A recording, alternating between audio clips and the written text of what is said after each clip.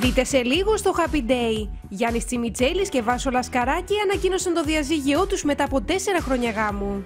Δεν θα ήθελα, παιδιά, να κάνουμε τώρα δημόσιο διάλογο για με τη Βάσο, ε, τι είπες σε εκπομπή και τι δεν είπες σε εκπομπή. Σας ευχαριστώ πάρα πολύ για αυτό. Μα εσείς κάνετε τη δουλειά σας και εμείς από την άλλη μεριά παντάμε μέχρι.